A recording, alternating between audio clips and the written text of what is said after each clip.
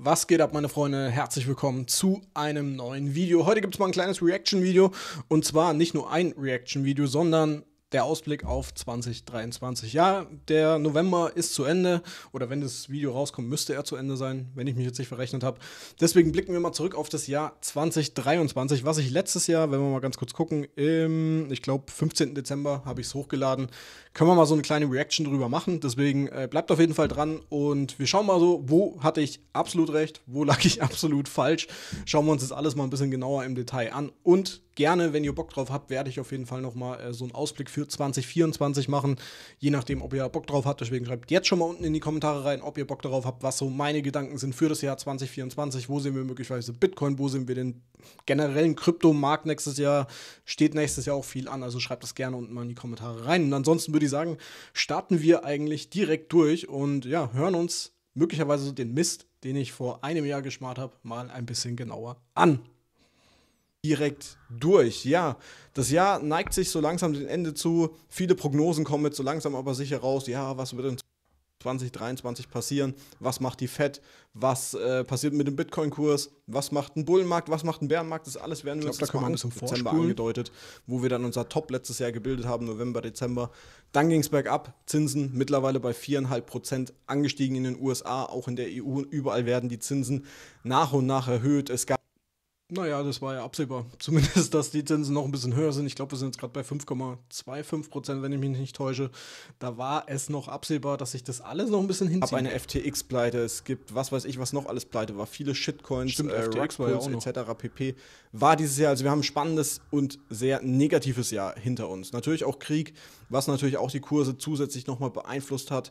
Energiekrise, steigende äh, Transportkosten etc. pp. Alles haben ist schon krass, wie das ist jetzt schon wieder alles ein Jahr her. Wobei man die Nachwirkungen natürlich immer noch hat mit Inflation, mit Energiekrise, neuer Krieg, Palästina, Israel ist auch noch dazugekommen. Also eigentlich, wenn wir jetzt mal so ein bisschen zurückblicken, trotz allem Bitcoin 100% gestiegen, muss man, muss man schon äh, gut sein lassen. Ne? Also so ein Asset erstmal zu finden und vor allem das Risiko einzugehen, ist, glaube ich, gar nicht so verkehrt. Haben wir dieses Jahr jetzt hinter uns gelassen und trotzdem hält sich Bitcoin bei 17.000 US-Dollar. Klar, was heißt trotzdem, wir sind unter unser Low vom letzten äh, Top gefallen, passiert. Wir sind weiterhin in einer schönen ähm, Falling Wedge-Formation, was uns etwas Hoffnung geben könnte für das Jahr 2023. Aber trotzdem sollten wir auch ein bisschen auf die Risiken eingehen. Klar, wir, wir können jetzt gleich mal damit anfangen, äh, wo haben wir es denn? Was die FED gesagt hat. Gestern war FED-Sitzung. Ich denke, das Video wird heute auch noch im Laufe des Tages online kommen. 4,5 ähm, Prozent haben wir jetzt einfach einen Leitzins in den USA. Das hat natürlich die Märkte wieder ein bisschen beeinflusst. Die Rede an sich war nicht wirklich bullish. Es war eher ein bisschen hawkish, also bearish gerichtet. Sie wollen die Zinsen länger auf 5,1 Prozent. Also das ist das vorübergehende Top. Darauf gehen wir jetzt erstmal ein, das vorübergehende Top. Hat sich aber gut gehalten, muss man echt dazu sagen. Also 5,1 Prozent oder wo wir halt jetzt eben jetzt gerade sind, äh, ja, eigentlich gar nicht äh, so verkehrt, muss ich ehrlicherweise sagen. Also hat sich wirklich äh, gut so gehalten, jetzt ein Jahr später. Von 5,1 Prozent.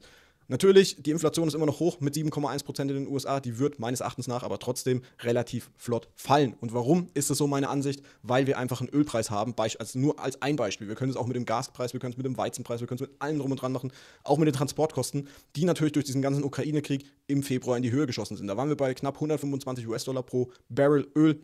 Seitdem sind wir jetzt deutlich gesunken und tendieren glaube ich, so in dem 80er-Bereich. Da oben sehen wir das Brand bei 82, WTI bei 76, also fast 40 Prozent einfach niedriger. Wo wir jetzt, äh, sag ich mal, vor einem Jahr dann ungefähr waren, sollten wir diese Preise halten. Und danach sieht es momentan aus, weil der Ölpreis deutlich nachgelassen hat und ich denke auch noch, dass es noch ein bisschen tiefer geht, wird sich das natürlich auch auf die Inflation. Inflation müsst ihr denken, ist immer ein Jahr rückwirkend. Das heißt, alle die Inflation, die dann bemessen wird, im Gegensatz zum Vorjahr, wo dann im Februar, März kommt, wird wahrscheinlich deutlich niedriger sein. Was dann natürlich auch die FED wiederum dazu bringen könnte, okay, wir haben jetzt unser Inflationsziel vielleicht ja. von 2%. Prozent. da muss ich echt sagen, äh, hat gepasst. Also da bin ich zufrieden mit. Äh, Inflation ist runtergegangen. Ich glaube, wir haben momentan 3,2% oder 3,5% irgendwie so. War schon ganz gut. Und das mit dem Ölpreis, muss man auch ehrlicherweise sagen, ist auch immer so ein guter Indikator. Es kannst aber natürlich, wie ich es auch da drin im Video gesagt habe, mit Weizenpreis, Transportkosten und sowas, ist klar, alles, was hochkommt, fällt früher oder später wieder. Das waren halt diese Sondereffekte. Natürlich auch mit Ukraine-Krieg etc. pp., warum alles dann durch die Decke gegangen ist. Man sieht es auch Äh, normalerweise auch an den Strompreisen.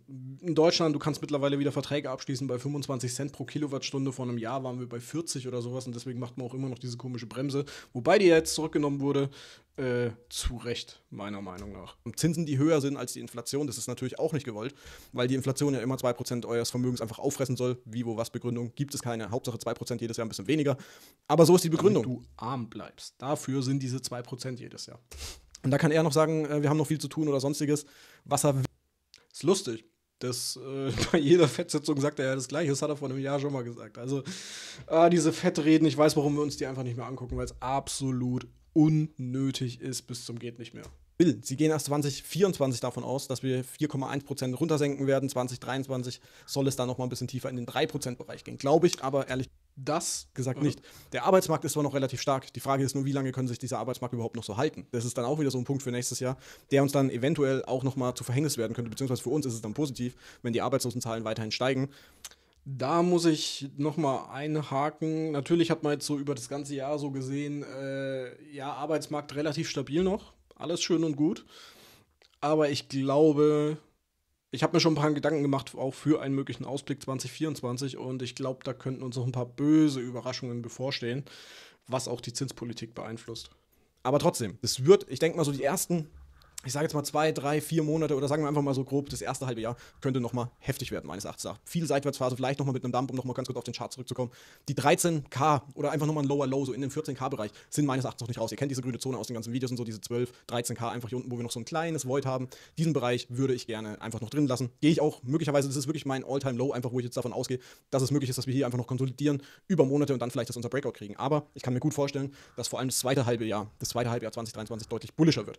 Auch da muss ich sagen, war ich, habe ich, wurde ich auch damals, muss ich auch äh, ganz ehrlich sagen, ein äh, bisschen belächelt, was das Ganze anbelangt. Also viele haben ja gesagt, nee, wir werden niemals äh, irgendwie einen Run oder sowas sehen. Wir werden vielleicht auf 24, 25k oder sowas gehen.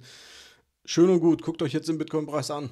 In dem Sinne, absolut recht, dieses Falling Wedge hat perfekt ausgespielt. Wir hatten zwar nicht diese 12, 13k, ich habe aber auch in einem Video dazu gesagt, das ist mein absolutes Lower Low, was es geben kann oder sollte. Alles darunter wäre katastrophal gewesen.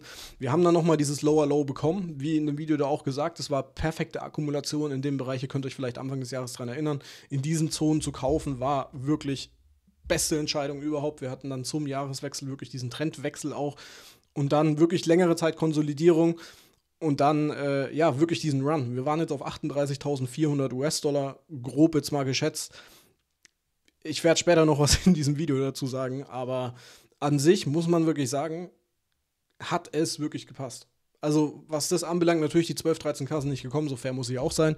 Aber das war auch wirklich äh, mein Mini, Mini, Minimum. Aber diese Zonen hier unten allein mit dem Pattern, da finde ich auch Pattern, ihr wisst, ich bin kein Pattern-Freund, aber auf Daily, Weekly-Sicht macht dieses Falling Wedge auf jeden Fall Sinn. Auch wenn wir Energiekrise haben, das sollte sich alles Richtung Sommer dann beruhigen, dann ist wieder so ein bisschen Sommerloch. Und natürlich auch das mit dem zweiten Halbjahr, muss man auch dazu sagen, zweite Halbjahr war deutlich, deutlich bullischer. Wir sind über 31.800 US-Dollar gekommen.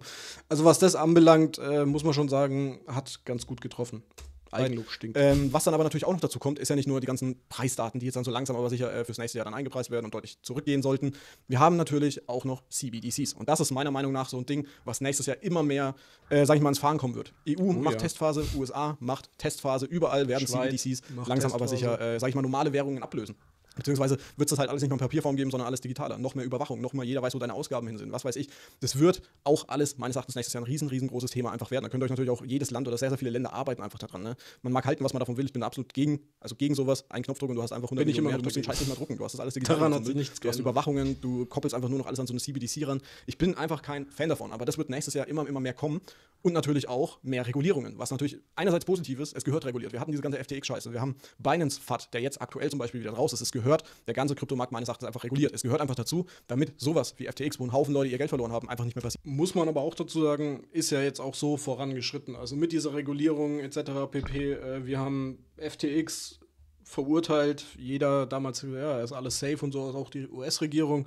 Mittlerweile verklagt die SEC. Das ist ja auch so ein Ausblick äh, für 2023 gewesen, dass immer mehr Regulierung kommt. Wir haben Binance, was jetzt äh, ja, jetzt erstmal vom Tisch geschmissen wurde, so fair muss man sein. Äh, CZ äh, zurückgetreten und sowas. Wir haben Anla Anklagen gegen Kraken, gegen was weiß ich was alles. Also da läuft schon einiges, was wir äh, damals besprochen haben und ein bisschen in die richtige Richtung, aber dieser ganze CBDC-Kack, glaube ich, zieht sich auf jeden Fall bis 2025, 2026 und das sind für mich immer noch die entscheidenden Jahre für Krypto. Jeder Scheiß gehört meines Erachtens nach, was börsenmäßig, wo ein Haufen Kohle hinterher liegt, äh, nicht zentralisiert, sorry, das war, war jetzt falscher Begriff, äh, einfach ein bisschen reguliert. Dass man weiß, okay, wer sind die Personen dahinter, wird da sauber gearbeitet und wird nicht mit dem Geld irgendwelche äh, zwei Zimmer Apartment in den Bahamas gekauft und das als Firma ausgegeben. Ne? Sowas meine ich halt einfach, das gehört einfach reguliert. und das können wir natürlich auch für den Kryptomarkt, weil CBDC ist ja angesichts Anti-Krypto, muss man ganz ehrlich dazu sagen. CBDC ist der eigene Weg für eine eigene Kryptowährung, nur da scheiden sich ja so ein bisschen die Geister mit diesem ganzen CBDC. Manche sagen, jo, ist doch gar nicht so schlimm und sowas. Hatten wir auch schon übers Jahr immer wieder mal so ein bisschen Diskussionen, auch im äh, Livestream und sowas. Ich sehe die ganze Sache immer noch extrem kritisch. Wenn CBDCs kommen und die werden kommen, könnte das negative Auswirkungen natürlich auch auf den Kryptomarkt haben. So fair muss man das natürlich auch beurteilen. Weil was ist, wenn du ein Konto zum Beispiel bei der Zentralbank hast, du willst aber Krypto kaufen? Dann sagt die Bank, nö, mach mal nicht und sowas. Also das wird, äh, das hat 2023 äh, angefangen, immer, immer mehr zu kommen oder 2022 schon. Da wird noch viel, viel mehr kommen. Against Bitcoin, also gegen Bitcoin. Und da wird es nächstes Jahr, denke ich, nochmal extrem, extrem spannend werden, wie das alles weitergeht. Wir haben diesen ganzen Umweltfat, der immer noch da draußen rumgeistert mit, ja, Bitcoin ist so umweltfreundlich, äh, um, umweltunfreundlich. Äh, das spielt natürlich auch alles mit. Meint ihr wirklich, das hier ist alles äh, ist viel, viel besser? Ganz sicher nicht. Ganz sicher nicht. Verbraucht wahrscheinlich noch mehr Energie als Bitcoin oder sonstiges. Ähm, aber da wird schon noch einiges nächstes Jahr anstehen. Also auch wenn wir hier, ich habe jetzt einfach mal so einen Artikel rausgesucht, äh, da gehen wieder Leute von, ich rechne von 100, 300, wahrscheinlich um die 150.000. Wenn ich sowas schon wieder sehe, ne? Keiner weiß es, keiner weiß es. Ganz ehrlich, meine Prognose, ich wäre froh, wenn wir nächstes Jahr vielleicht gegen Ende des Jahres die 100k kratzen. Wir haben dann 2024 erstes Halving. Gut, das war ein bisschen übermütig mit den 100.000 US-Dollar. Äh, so weit sind wir nicht gekommen, aber ich meine, wir kratzen an der 40k. 100% gemacht. Pff, was will man mehr? Halving kommt noch. Also es dauert natürlich auch noch ein bisschen. Ähm, wäre möglich, wenn die Fed ihre Zinsen senkt, wenn wieder mehr Geld in den Markt gepumpt wird. Ihr müsst euch vorstellen, Wahlkampf beginnt dann auch langsam, aber sicher wieder. Ja, es ist wieder soweit. Wahlkampf. Ja, zieht sich, äh, muss ich ehrlicherweise sagen, äh, ich habe eher mit Wahlkampf gerechnet. Natürlich, Trump, äh, Biden läuft schon ein bisschen so, aber so richtig in die heiße Phase sind wir da noch nicht gekommen. Ne? Aber das kommt alles nächstes Jahr. Beginnt, das könnte natürlich auch alles noch mit da reinspielen. Ne? Und da sehe ich dann eher so, deswegen auch so eher so zweite Hälfte. Die erste Hälfte wird noch ein bisschen auch jetzt mit dem ganzen Binance und FTX, bis sich das alles wieder ein bisschen beruhigt hat und so. Glaube ich zwar, okay, ich bin weiterhin davon überzeugt, dass wir vielleicht den Boden jetzt im vierten Quartal, wie ich schon vor Monaten gesagt habe, ähm, bilden könnten. Gehe ich weiterhin einfach davon aus. Jo, ist auch so gekommen. Also Boden, das habe ich aber Anfang 2023 schon gesagt, äh, Anfang 2022, äh, dass ich eher davon ausgehe, dass sich 2022 im vierten Quartal der Boden bildet. Also hat eigentlich auch ein möglicher Ausblick sein könnte, dass dieser Boden dann jetzt mittlerweile hundertprozentig weiß man es natürlich nie. Ne? Das muss man auch dazu sagen. Äh, aber hat schon gut gepasst. Der schon gefüllt ist oder in den nächsten zwei Wochen noch gebildet wird, je nachdem der FAT ist schon wieder groß und die Aussichten jetzt noch nicht so bullisch, äh, haben wir uns ja gerade charttechnisch ein bisschen angeguckt es lässt alles ein bisschen nach. Was dann natürlich noch in die Karten spielen würde, okay, wir hätten noch Frieden in der Ukraine, dann hätten wir komplett. Damit rechne ich 2025. Äh, 2024. Aber dazu dann in einem anderen Video ein bisschen mehr. Bullische Daten überall, äh, Inflation sinkt, die FED senkt ihre Zinsen. Ne? Das spielt dann alles wieder rein. Das wäre so ein Haufen bullische News, die ich dann aber erst so gegen, ich sage jetzt wirklich mal zweites, äh, eher drittes Quartal dann wirklich erst erwarte. Ich glaube, die ersten Monate werden einfach noch ein bisschen holprig. Vielleicht mit ein paar Fake-Outs nach oben, vielleicht mit ein paar Fake-Outs nach unten oder so. Jo. Aber da kommt nächstes Jahr eine Passt. Menge. Dieser ganze CBDC-Kack äh, ist dann, glaube ich, eher so ein bisschen das, wo, wo ich ein bisschen mehr Wert drauf legen werde. Natürlich auch ein Blick auf den Immobiliensektor, ne? der, der ja auch noch kritisch ist. Und ihr müsst euch denken, wir haben ja ähm, immer wieder darüber gesprochen. Der Immobiliensektor wundert mich ehrlicherweise. Was mir mehr Sorgen macht, ist mittlerweile so ein bisschen so diese ganze Kreditabteilung in den USA, weil die Leute ihre Kreditkarten mit Kreditkarten zahlen und diese wiederum zahlen sie mit Kreditkarten. Das ist, äh, muss ich mal vielleicht noch eine äh, Ding raussuchen, eine Grafik, aber die Leute überschulden sich immer, immer mehr. Ne? Und der Immobilienmarkt lebt. Inflation, der Inflationspeak kommen immer zwei. Das heißt, wir hätten jetzt den ersten Inflationspeak, haben wir jetzt hinter uns. Sehr wahrscheinlich wird dann auch noch weiter sinken. Und dann geht das ganze Spiel wieder im Endeffekt von vorne los. Wir senken die Zinsen, wir drucken wieder einmal das Geld. Dann kommen äh, die Arbeitslosendaten, die noch dazukommen, die wahrscheinlich den Kurs noch mehr beeinflussen werden, meines Erachtens nach, weil einfach die Arbeitslosenzahlen wahrscheinlich noch mehr steigen. Es wird jetzt schon entlassen, die ersten Entlassungswellen rollen schon. Die, die Firmen, hat auch gestern Paul gesagt, halten aber noch an ihren Personen fest, weil es einfach schwer war, die zu bekommen. Die Frage ist, wie lange kann man sich eben die leisten in Zeiten von Inflation, wo die Preise extrem hoch sind und die Leute müssen auch von was leben, die Leute müssen ihre Häuser zahlen. Und das ist dann so dieser nächste ah, Punkt, den ich ja auch. Vielleicht kommt das 2024 nicht, ne? mit dem Häusermarkt, aber das ist das nächste Ding, was einfach mhm. anrollen wird. Das sagen die Hypothekenzinsen, das sagt äh, der komplette Immobilienmarkt und das ist halt nicht so. Das ist für mich diese große Ungewissheit. Die würde ich auch noch nicht abschreiben, aber es hält sich überraschenderweise, also ich hätte wirklich damit gedacht, dass da äh, ein bisschen mehr passiert, aber überraschenderweise hält sich dieser ganze Immobiliensektor und Arbeitsmarkt noch relativ stabil.